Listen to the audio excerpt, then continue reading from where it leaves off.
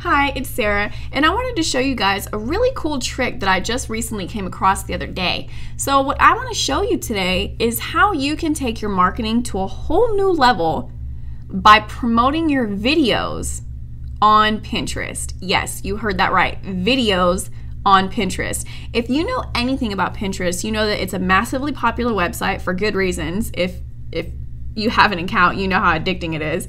But I've noticed that it's mainly just it's mainly just images. Like look here, we're we're on my news feed for Pinterest and as you can see there's like tons of images that link to different websites and articles and blog pages, but I wanted to know why not videos?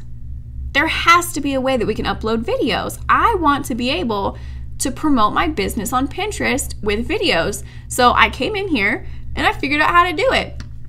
So what I'm going to show you is how you can do the same. Now, okay, like I said, this is the home feed. So what I want to show you is this is a video of my daughter that I uploaded onto Pinterest to see if this theory of mine would work, and lo and behold, it does. And if you were to click it, it takes you to the YouTube it takes you to my YouTube video where I have this video and it transfers over the title of your YouTube video for you. It if you were to click here, here, or here, or here, it would take you to my YouTube channel. So that's really cool. So what I actually recommend you do is in the description, which I'll show you, is since it already uploads all your YouTube information, is simply to put your website address underneath in the description. Okay, so what we're gonna do is we're gonna log into our account, we're gonna click our name and go to our profiles and pins, and we're gonna select whatever board it is that we want this to upload to. So let me see. I think we'll go to business. We're going to click add a pin. And this is where I've noticed people who have attempted to do this before failed.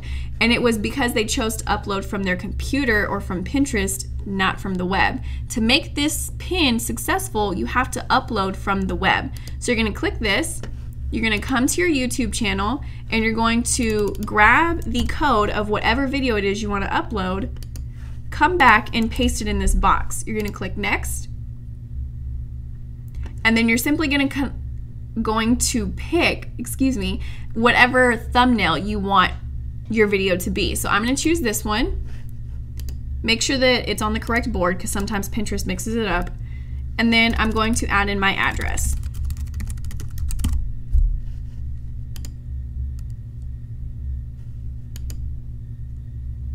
There we go. Voila. Oop. Okay.